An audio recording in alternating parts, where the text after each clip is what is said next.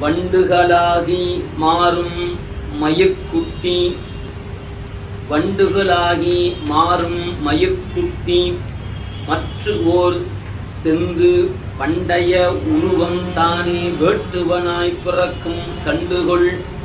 யோனி எல்லாம் கண்மத்தால் மாறும் என்றே கொண்டன சமயங் எல்லாம். இச்சொல் நீ கொண்டது எங்கே? ஒரு கேள்வியாக கேட்கப்படுகிறது. சொல்ல இதற்கு சுந்தரமூர்த்தி ஐயா தந்த உரை முதல்ல பார்த்து கொள்ளலாம். இந்த பாட்டுக்கு சொல்றாரு கம்பளி பூச்சிகள் அவ்வினம் மாறி வண்டுகளாக மாறும். அதான் வண்டுகளாகி மாறும். மயிர்குட்டி என்பது எனவே கம்பளி பூச்சி என்பது அது நான் கூட்டுக்குள் இருந்து பிறகு மாறுகிறது. எது வண்டுவாக. எனவே கம்பளி பூச்சிகள் அவ்வினம் மாறி பண்டுகளாக மாறும். ஆக இந்த இங்கே பாட்டில் மயிர்குட்டி என்று சொல்லப்பட்டது கம்பளி பூச்சியை குறிப்பது இவ்வாறே புழு இனங்கள் குலவியாக மாறும். புழுக்கள் நம்ம சொல்ல முடியுங்களா செங்குலவி அதுபோல குலவியாக மாறும். இவற்றை கண்கூடாக அறிவாயாக அன்றியும் பருவுடம்பும் மூல உடம்பும் வினைக்கேற்ப மாறுவன என்றே எல்லா சமயங்களும் கூறும். அவ்வாறு இருக்க பருவுடல் அன்றி மூல உடல் மாறாது எனும் கொள்கை நீ யாண்டு கற்றனை என்பது வினாவாக இருக்கிறது. இதனுடைய உரைப்பகுதியை இப்போ பார்க்கலாம். மயிர்குட்டி வண்டுகளாகி மாறும். அதாவது முதலில் உடல் முழுவதும் மயிர்களாக பிறந்த கம்பளி புழு பின்பு வண்ணத்து பூச்சியாக அச்சுமாறி பிறக்கிறது.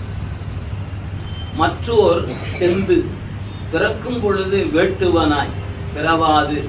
புழுவாய் பிறந்த உயிர். பண்டைய உருவமே வேட்டுவனாய் பிறக்கும் புழு வடிவத்தை துறக்காமலே வேட்டுவனாய் அச்சு அச்சுமாறுகிறது கண்டுகொள். இவ்வாறாக இவ்வுலகிற்தானே நிகழ்கின்ற மாற்றங்களை நீ இப்போ அப்படியே முன் பக்கத்துக்கு வந்துடணும் ஏன்னா ப- பக்கம் மாறி இருப்பதனால முன்ன வந்துடணும் பக்கம் நானூற்றி மூணுக்கு பாருங்கள் தெரிந்து கொள் அது நிற்க. சமயங்கள் எல்லாம் கண்மத்தால் யோனி மாறும் என்றே கொண்டன. சைவம் மட்டும் அன்று. இவ்வினையை உடன்படுகிற எல்லா சமயங்களும் தம் வினைக்கு ஈடாக உயிர்கள் அச்சுமாறி பிறக்கும் என்றே கூறுகின்றன. அங்கனமாக இச்சொல் நீ கொண்டது எங்கே? உயிர்கள் இறந்து பிறக்குங்கால் அச்சுமாறி பிறவா என்னும் வழக்குரையை நீ பெற்றது எங் எந்த நூலிலிருந்து என்று சித்தாந்தத்தை சார்ந்தவர் வினா தொடுத்து நிற்கிறார் சிறப்புரை. எந்த நூலில் இன்றும் பெறாது நீயே தான் தோன்றியாக கூறுகின்றாய் என்பதா எந்த நூலிலும் அப்படி இல்லை. நீ அப்படி சொல்லி கொண்டிருக்கிறாய். நாய் தேவன் ஆனதாக சமண காப்பியமாகிய சீவகா சிந்தாமணியும் ஆவின் வயிற்றில் மகன் பிறந்ததாக பௌத்த காப்பியமாகிய மணிமேகலையும் கூறுதலை காணலாம். புழுவாய் பிறக்கினும் புண்ணியா உன்னடி என் மனத்தே வழுவாதிருக்க வரம் தர வேண்டும் என்னும் அப்பர் திருமொழியிலும் மக்கள் இறந்த பின் புழுவாய் பிறத்தலும் கூடும் என்பது பெறப்பட்டது. புல்லாகி கூடாய் புழுவாய் மரமாகி என்பது முதலாக திருவாசகம் ஓர் உயிர் பல வகையான அச்சிலும் சென்று பிறவி விரிவாக சென்று பிறத்தலை விரிவாக எடுத்து கூறிற்று. எனவே உயிர்கள் அச்சுமாறி பிறவா என்பது தனி ஒரு அடா வழக்கே ஆகும். இது நம்முடைய நூலில் அப்படிலாம் சொல்லப்படலை.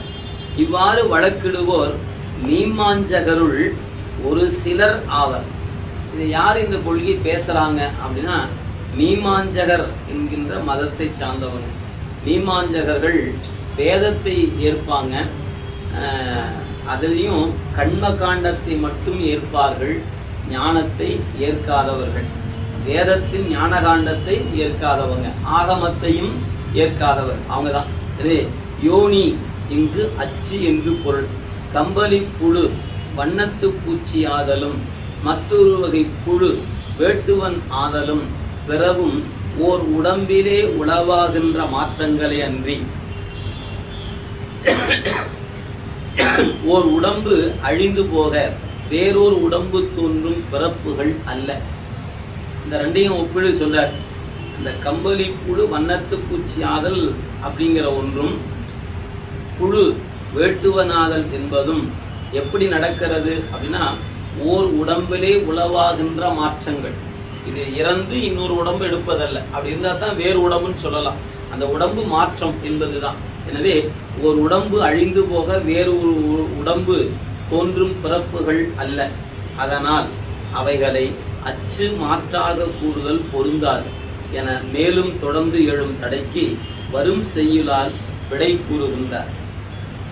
இப்ப இந்த கருத்தை வலியுறுத்து அதாவது அச்சுமாறி பிறக்கும் என்பதை வலியுறுத்துவதற்காக அடுத்த பாடலை சொல்றார்.